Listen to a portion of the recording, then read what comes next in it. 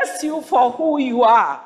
We adore you because you love us and you're always ready to bring us closer to you. We have come because you have said we should and you have brought us here. We pray that you visit us now, bless us, and give us peace and the strength to send your word abroad. In the name of Jesus, we have prayed. Please be seated.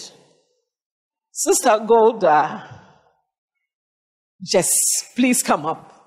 This morning, we're going to talk about the Apostle Paul and see what we can learn from him. With my class, to do that is Sister Golda's class. And so we shall present something and then allow you time to contribute and to ask questions. God bless you. Good morning, ladies and gentlemen. Right, so as um, Auntie Dorcas said, um, the Bible character study, um, Bible character we are studying this morning is Paul. And as you can see on the screen, uh, we have a picture of him. I hope uh, that's what he looks like actually. right. So um, this is a man we often refer to as um, Paul Ambantam, or Snigity and um, we'll get to know later why he's called that. Um, we have split the presentation into two. And per the outline that we have, we have the meaning of the name, um, the background, achievements, challenges, and lessons for the contemporary person. So I'll take the first three slides, which is the meaning of the name, the background, the achievements, and Auntie Dorcas will do the strengths, challenges, and lessons for the contemporary person. Right, so as I said, um, we're talking about this great man who is described as an influential um, figure in the early development of Christianity. And um, with the meaning of his name, we can't talk about Paul without um, looking at the meaning of Saul, because that was a name that was given to him at birth. And so for the meaning of Saul, it's, um, it's ask, inspire, borrow, and beg. And then the name Paul, which comes from the Roman family, means small or humble. Now, the background. Um, Paul was born um, a Jew from the tribe of um, Benjamin. And in fact, he's often called um, Saul of Tarsus um, in the town called Cilicia. And I understand now it's South Turkey. And um, he was a Roman citizen by Jewish dispersion. He grew up in the home of Gamaliel. Gamaliel is known to be a leading authority in Jewish and religious establishment. And there, under his feet, under Gamaliel's feet, he learned the law of Moses thoroughly to the extent that um, during his early life, he was a Pharisee and he kept the law of Moses to the letter. And I guess that's why he was bent on persecuting people who were professing Jesus as the Messiah. So, um, one day, he was on his way to Damascus to do what he knows how to do best to persecute the Christians. Um, in other places, he was moving from one synagogue to the other. And um, from the research that we did, we learned that he had a problem with people professing Jesus as the Messiah. But he didn't think that a Messiah should be treated the way he was treated. And so on this road to Damascus, Jesus, the resurrected Christ, appeared to him. He struck him dead. Sorry, he struck him, and um, he went blind. For three days, he was blind and um, found himself in um, the home of Ananias, who um, restored his eyesight. And then he began his ministry, and he didn't look back. And um, for his achievements, we have um, quite a number. He's known to have taught the gospel of Christ in, in the first century. He founded many churches, some of which are in Galatia, in Corinth, in Thessalonica, and many others. Um, he's generally considered one of the most important figures of the apostolic age. And he's also known to have authored a number, but about 14 of the books of the New Testament, some of which were mentioned there. It looks like the text is not legible enough. But um, a few of them are the Romans, 1st and 2nd Corinthians, Galatians, Colossians, and many others. Right, so I'll end it here, and Auntie Dorcas will continue with the strengths. Thank you.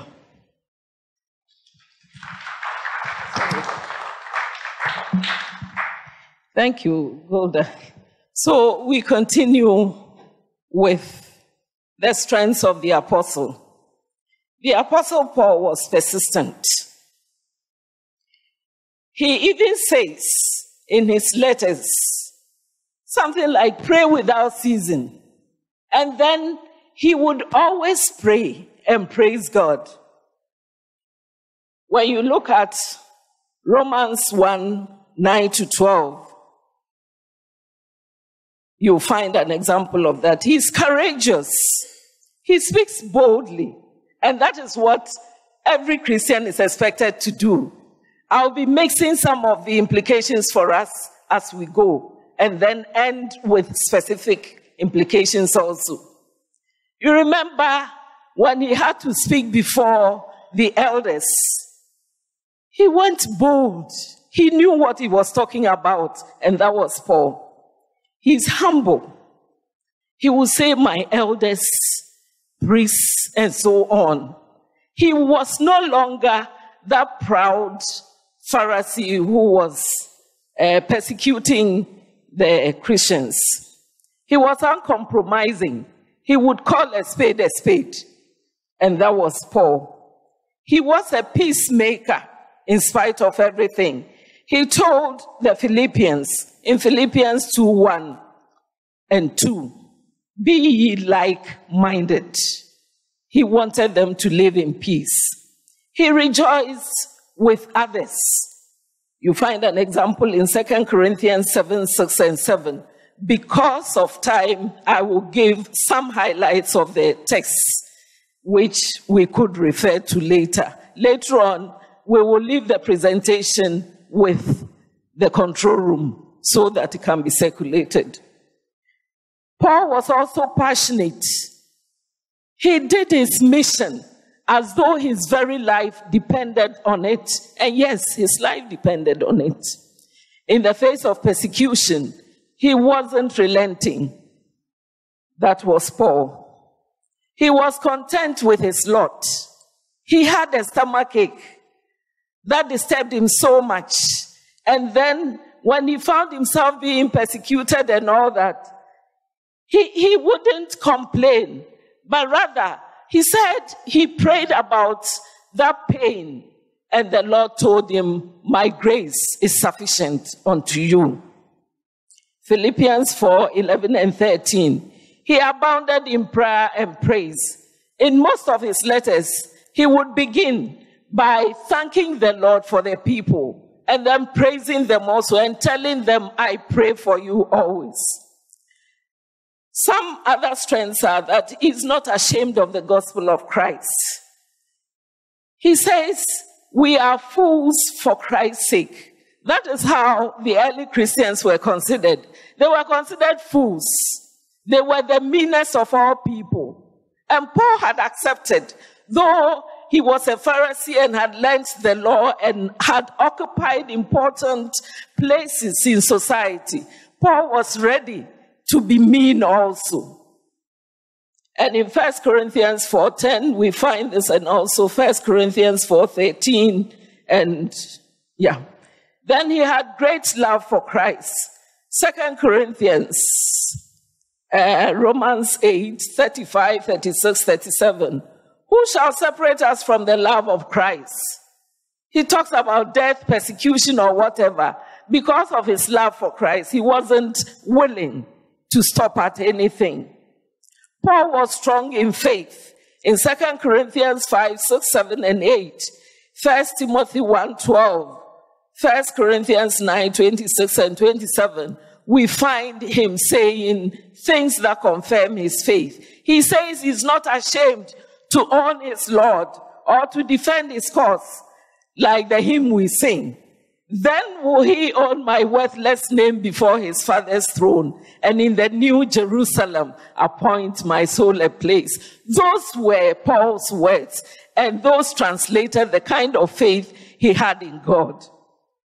He jealously guarded his salvation. Paul wouldn't toy with his salvation. He never said that I'm saved and that is it. He worked at it. And so he told Timothy that he would keep on fighting and urged him also to do the same. At a point when he realized he had done enough, then he talked about, I have fought the good fight. So, Paul guarded his salvation. We find this person that we talk so much about having challenges. Some we might call weaknesses. But because Paul used all these challenges as a springboard to further uh, his faith and to do the work better, we better see them as challenges. Paul uses harsh words at times. He called non Christians outsiders, he called them the world. And then he called Christians the church. He called non Christians also those who do not understand. It's like in our local parlance, when you would use some other word, derogatory word, for somebody, just to describe the person. I wouldn't want to mention any of those words, but you know them. Again, he was all sold out for Christ and expected people to get it straight as he had. Because he was sold out and uh, uh, accepted the faith as it was and wasn't willing to compromise or anything, when people were not doing what he was teaching them, Paul thought they were fools. He said, Foolish Galatians. Can any of us call a brother or sister foolish. No. But that was Paul. Again, Paul was very ambitious. He desired to preach where Christ has not been named in Romans 15 20, 21 and Romans 15 24. He says to complete the Mediterranean world by going to Spain.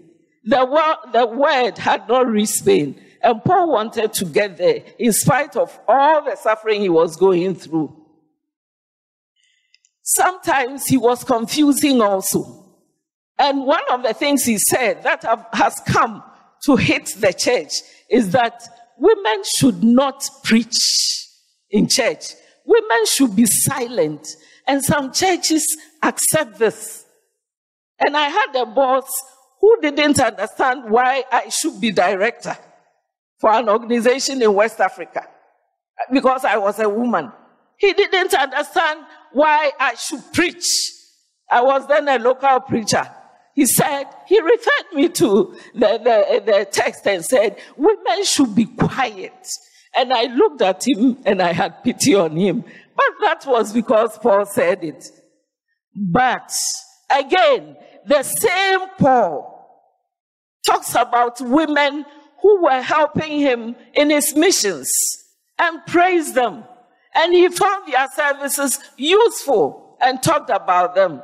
So sometimes his utterances were kind of confusing to others, and they are even today.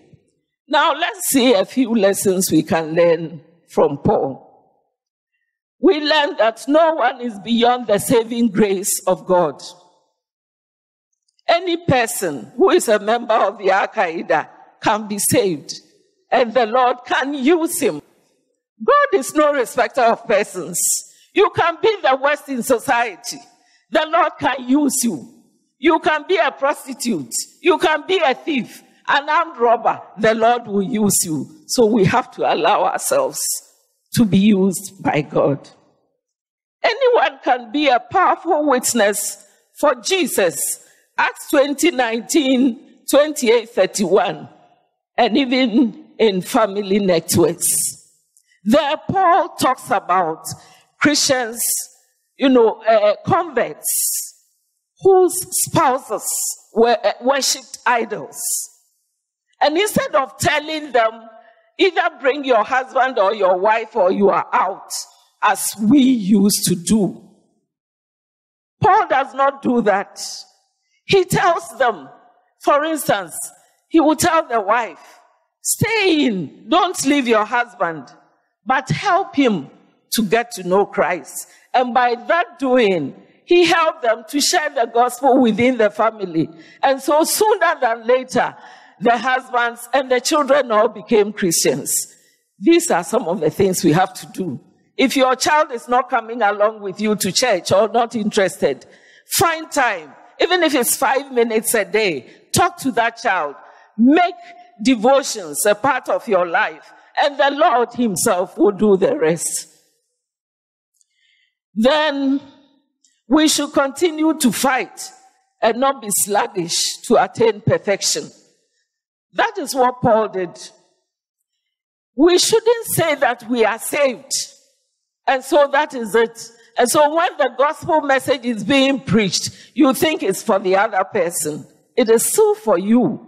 We need to grow and we need to reach perfection, as John Wesley told us. So we must strive to reach perfection. No matter how others consider us for reason of our faith, we should not lose heart. 1 Corinthians 4.10, Philippians 4.11 and 13. Remember they were being called fools and they were the meanest in society.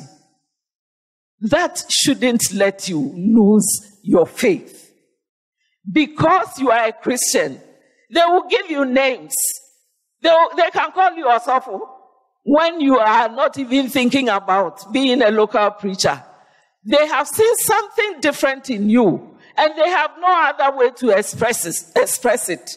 They can use derogatory words, but that is where the Lord is confirming you. So we shouldn't think about some of the ways in which people treat us because of our faith. Pray and praise without season. It is communication with God. As you sing, as you praise the Lord, as you pray, you are communing with God. And that is where we draw our strength. Wherever Christ sends us, we should go no matter the challenges. First Corinthians 4 12 and 13, you find an example there.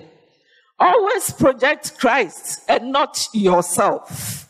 Always project Christ and not yourself. That thing is easy to do Sometimes you are talking about something the Lord has done in your life or has used you to do. If you do not take care, you will praise yourself and draw attention to yourself, neglecting God. But God does not share his praise with anybody. You have done nothing. He only used you. And when we have done these things, the Bible tells us to say, we have only done what is expected of us. But that is what we see happening these days. The so called prophets and angels and whatnots, they profess themselves.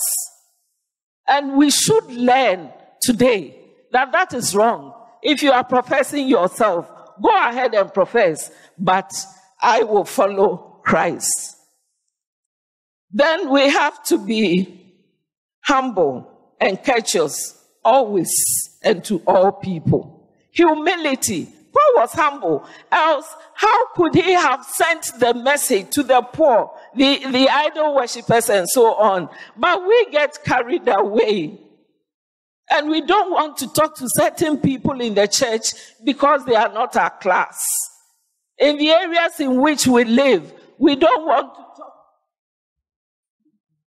we don't want to talk to them because they come nowhere near us. How else can you share your faith with them if they are not your class? You look down upon them. Paul is saying to us this morning, we should stop doing that. We must evangelize the world. Paul said, and Jesus Christ confirmed it to Ananias also that he was a chosen vessel for Christ. And his mission was to send the word to the world And that's exactly what he did. In spite of every obstacle he faced, what are we supposed to do as Christians? Is that not our mission as well? From Jerusalem, we should go to Samaria and to the ends of the world. And Jesus told us also, and that's why the Methodist Church and the other churches are today. What are you doing? You have to send the word. This is the time for evangelism. We are concentrating on evangelism as a theme this year as, a, as the Methodist Church. What have you done? Are you taking the word, the word? Have you finished your home? Your colleagues? You know, those, those you come into contact with. We are being called to do that today. You could read Thessalonians 1 6, Acts 9 15, Philippians 1 12 and 25. But how are we supposed to do this evangelism? Paul did a lot. One person. He did a lot. Are we able to do that? Is the world drawing us back so much that we forget the reason why we are Christians? Or we forget the reason why we are here? Sending God's word to others is more important than anything in this world. I find it so. And I opened my lips and told God that I would do your work, even if I have to lose my job. And I was talking about a good sum of money month. But I felt I needed to say that to the Lord. I couldn't contain the pressure. What are you doing? Are you waiting for the Lord to do something drastic in your life before you realize you are supposed to preach the word? You might not survive it. You might not wake up tomorrow. You might be maimed along the way. You might get dumb. What are you waiting for? Aren't you afraid that you are not speaking the word? That you are not sharing it with anybody? One day, some weaknesses of yours might be written. Maybe passion might be something that will be credited to me as a weakness. What about you? You have to do it. Pray about it. Let the Lord give you strength to do it. Apart from your home and also speaking the word and, and, and evangelizing, how are we supposed to do it? We have to go. Paul went to every place and went to Spain.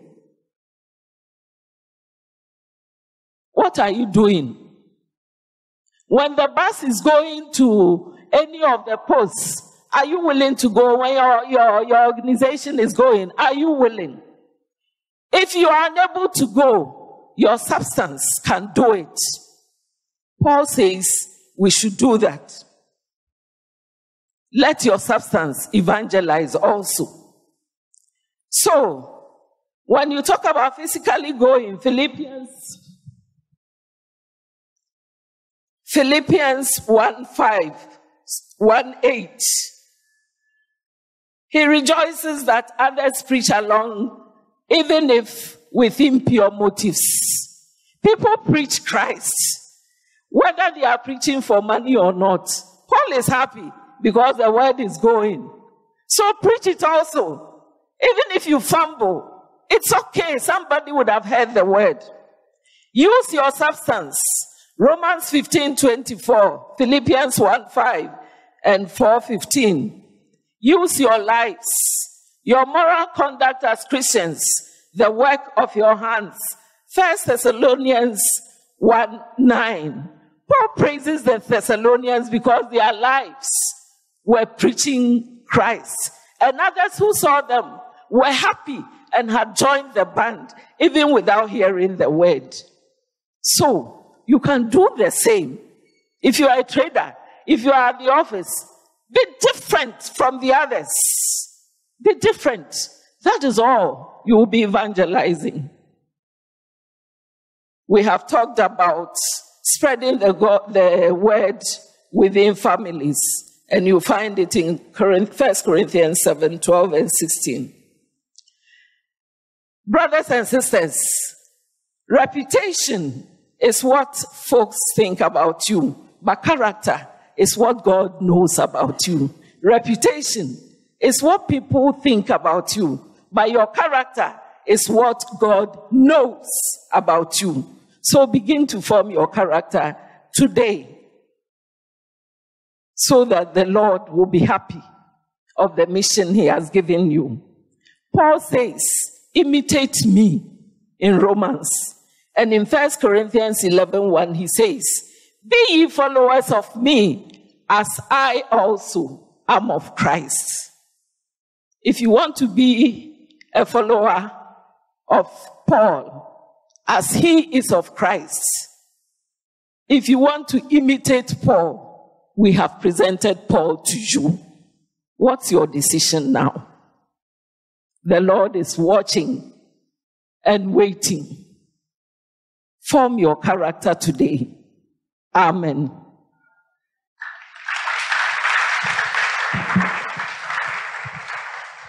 Please, we have some time for contributions and questions. You are welcome. Yes. Well done, sisters. I know that Paul, we were told that he's a very zealous Jew. Paul, Saul of Tarsus was a very zealous Jew who would not budge for any Jewish law to be broken. Now, uh, what is, when, when exactly did the turnaround come? Came? Because he had, was it because of what happened on the road to Damascus or the three days that he spent with Ananias? When exactly did it happen? Thank you very much. Also, for my senior and my boss is here to help. But the little I will say is that Paul was a son of a Pharisee. The Jews who had run away as a result of persecution in Jerusalem. And so he grew up to become a Pharisee also. We said he was learning under, at the feet of Gamaliel. So he was a Pharisee, and the Pharisees did not mince words when it came to the law. They would do exactly what the law says. And that is why Jesus called them whitewashed tombs. It is not good to heal anybody on a Sabbath, let the person die. That was the Pharisee. But when Jesus touched him, he put his Holy Spirit in him and he studied what Christ had taught from the early Christians and the disciples, and he realized what he was doing was wrong. But he, being zealous, did not leave him. He was zealous even with preaching Christ. And that is why he had to bear all the suffering, and yet he continued. That is the little I would want to say, if it sounds convincing. Other than that, when my boss comes, the turnaround, it came when Jesus touched him. That is all I can say. When Jesus touches you, you stop all the nonsense in quotes. You stop, you put yourself away and imbibe Christ. And so you will stop persecuting the others. But the zealousness, Paul took it into Christianity.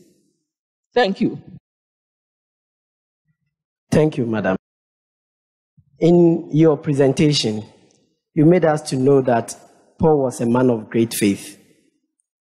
Even at a point in time when he was suffering from stomach ulcerity, he prayed and it went away. And in some of the episodes, we saw that even his handkerchief was healing people. He offered an advice to Timothy in 1 Timothy 5:23. And I read, "No longer drink only water, but use a little wine for the sake of your stomach and your frequent ailments." Didn't Paul do the same? I'll tell you, Paul's pain did not go away. He prayed about it. And what he says the Lord told him was, My grace is sufficient unto you. So, in spite of the pain, go ahead and do the work. We all suffer. I shouldn't be standing here, but I am because some grace covers me. And I believe that God's grace is sufficient. If I should shut up, I believe I will die in a minute. And so I'm afraid not to do the Lord's work. And as for that advice to Timothy, it's become a controversy among Christians and the rest of the world. Please do not go and take alcohol because Paul told Timothy to do so. We get alcohol from some of the foods we eat. I wouldn't be able to tell what kind of food they were eating those days. If you eat maize, eh, banku, akple, and the like, they have a certain concentration of that. Yeast, eh, yeast develops in various foods, and we add to bread and all that. Let me rest my case. Do not go and tempt alcohol, else alcohol will tempt you. Thank you. Uh, I've heard somebody whispering that Mr. Buku's question has not been answered. I will dare an answer. Uh, at the episode of uh, Damascus, Jesus told Paul to go to uh, Ananias and he will be told what to do. So when he went there, he might have been told something which made him to leave that place to Arabia. So from there, he started his ministry. So I think that is uh, where the turnaround started. Thank you. Okay. So let us rise up. Um, if you read Acts chapter 9 carefully, in verse 9, actually in verse 7, verse 6, 7, and 8, when the Lord encountered Paul, verse 9 says that he went blind. And when he went blind, the Lord directed that Ananias meet him. In that meeting, the Lord had told Ananias in verse 15 that Saul, the one you are going to, is my chosen vessel. So the Lord at that point in time had already touched that young man and chosen him for a purpose. Why did God make him go blind? Before everybody comes to know the Lord, we live in spiritual darkness. Paul, as a Pharisee, thought of himself that he knew it. Remember the Lord Jesus one time when he had an encounter with Pharisees, told them that if you had told yourself that you are blind, you would have seen. But now that you say you see, you will not see at all. Now, Paul, the Lord metaphorically was explaining or revealing to us what should take place in everybody's life. You move from the state of blindness and you are brought into the light of God. So, Paul physically got blind, and then the Lord, through his servant, opened his eyes to let him know that something has actually taken place with you. Now, because the Lord had chosen him, he was inwardly moved by God's Spirit. The Bible says that he was baptized.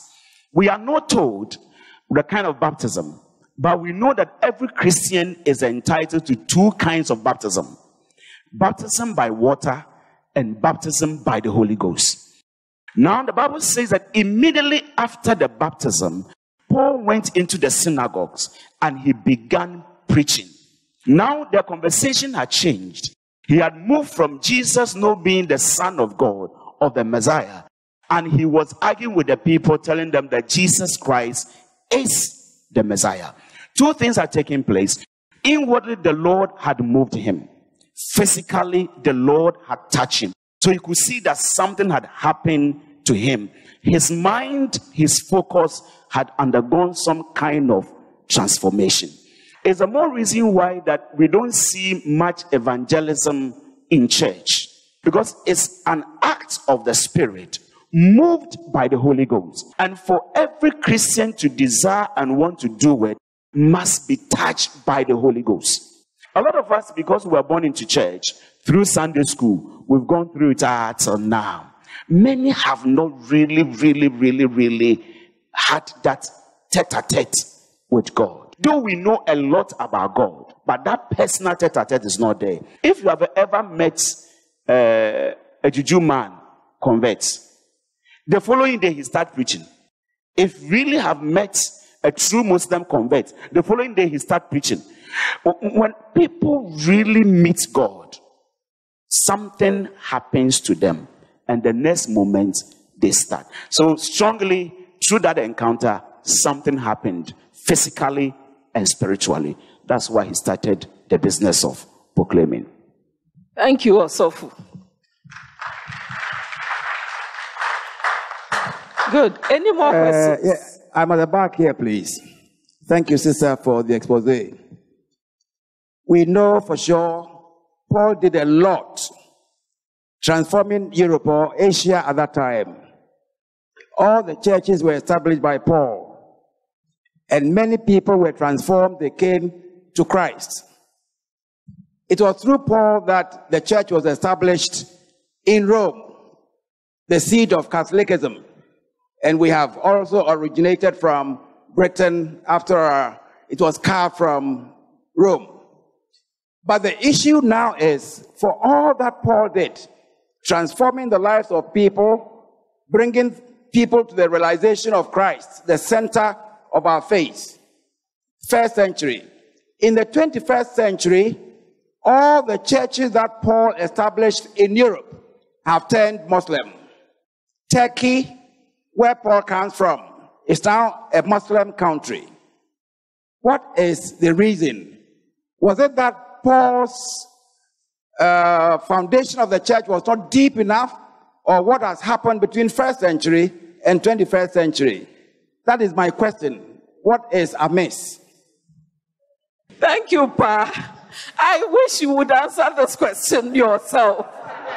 Pa, your knowledge is beyond mine. Can you help us then, please? Thank you. Please give the mic to Pa Checha. He will help us answer. There are so many reasons, but he will give us the best. In fact, between the first century and the 21st centuries, we've had what we call persecutions. There have been various persecutions. And along the line, there was a vacuum.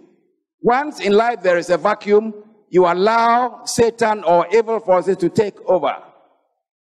So, in the course of the 17th, 18th century, during the slave trade and other trades, you know, people's faith in God vanished. And they took to what has actually not been proclaimed by the Bible. And they did their own thing.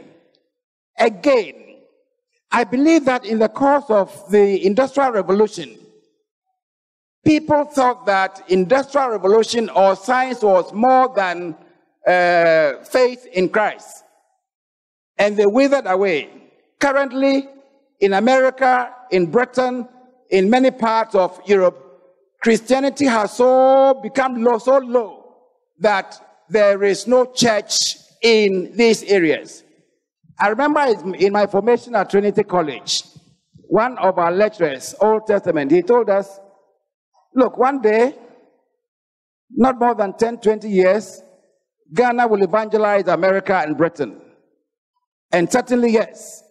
These days, we have many of our ministers go to Britain, Germany, Europe, and America in fulfillment of the prophecy by Professor Dawes. So, as soon as your faith becomes slow, and you think that science has replaced Christianity, then you begin to worship in your home instead of fellowship in the church. You begin to propound your own theories instead of sharing fellowship in the church. And there are many things we do as humans instead of in the spirit. So, 21st century, Ghana Methodist population 800,000. The issue is, are we really 800,000 after 60 years in existence? When some other lesser uh, Latter day Saint churches are more than a million. Is it that our faith is being increased or reduced? So, what becomes of the church in 20, 30 years' time? Shall we become like Turkey and the church is there? There is the need for, in fact, deep rooted faith in Christ and a lot of evangelism in the other areas and knowing ourselves and serving Christ as Paul did in the early days. Otherwise, we cannot count our children coming to uh, our faith. They'll be joining other faiths. But we believe that Christ does his own things and changes the world at the time he thinks best. Thank you for the short answer. Thank you very much, Pa, for an in-depth answer. We trust the Lord to turn things around. Christians have done it before and they will do it again. Hallelujah. A last question. Thank you. Go ahead. Hello. Mine is not really a question. It's a submission and contribution to what has been shared. Thank you. In relation to the alcohol incident, it wasn't really about promoting alcohol. It was a, you know, Paul was a learned man. It was a practical advice he gave him. We understand alcohol to be a generalized thing, but there are categories. There's something called cider. Cider is practically good for stomach upset because it clears out the stomach lining and some things. So it is very possible that when he mentioned alcohol in that instance, it meant that not a full approval of the fact that he should go and then um, go and drink alcohol. Um, two, my contribution is also to the relation to the Islamic shift over the centuries.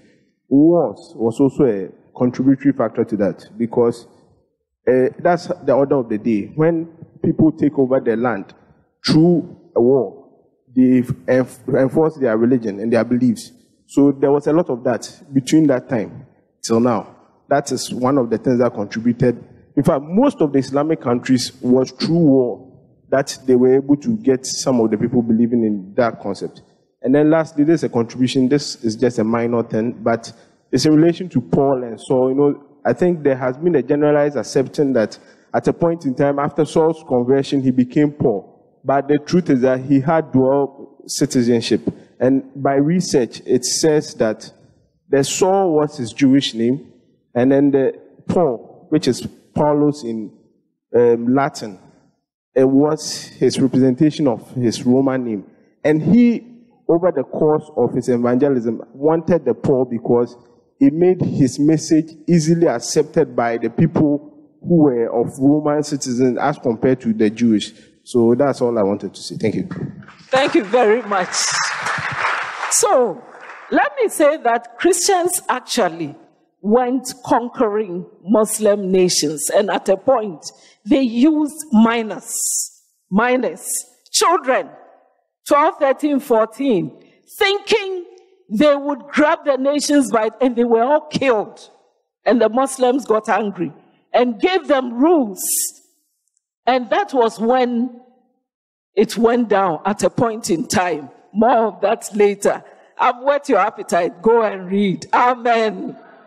So full. Thank you very much.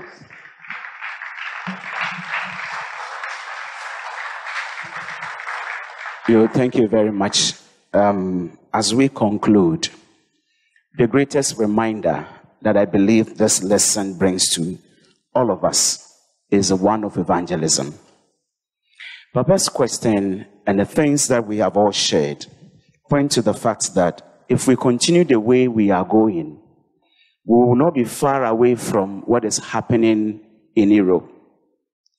Um, how should a church like Methodist Church be around for 180 something years with all our professors. In fact, we have more professors who are pastors than any other church. We have more doctors we have more lawyers, we have both in the clergy and in the lay. When you go to the universities, you find more Methodist professors than you will find in the other religions. In terms of book, we know. So everything to articulate about Christ, we know. Yet we don't seem to be progressing. What is amiss? The Spirit. Yielding to the Spirit and availing ourselves for the Spirit to use us has become a problem. Even when we are prompted by the Holy Ghost to take action, we'll find a theory to write it off. We'll find every reason why we can't do certain things. Church, remember the last time I said we're doing Easter Sunday and it was a test Sunday, so everybody should invite somebody to church. Uh, only four people invited people to church. I'm very sure you gave reasons. Well, who am I going to find? Uh, who, who do I even know? So at the end of the day, no effort, and nobody was invited. Four people brought people to church. And it, it, it tells us that surely, if we are bringing four out of 890 people, then you can tell what will happen in the next 10 years. I believe we need not pay lip service any longer to the issues of evangelism. Let's put ourselves into it. Think evangelism, dream evangelism, and begin to act evangelism. May, let us make it our personal goal. At least, if for nothing at all, even if I'm unable to win the person, I will share the gospel with somebody, at least one in the whole year. I'll try to do that. And if we do this, I'm sure there will be many Pauls in this church, and there will be much, much, much progress.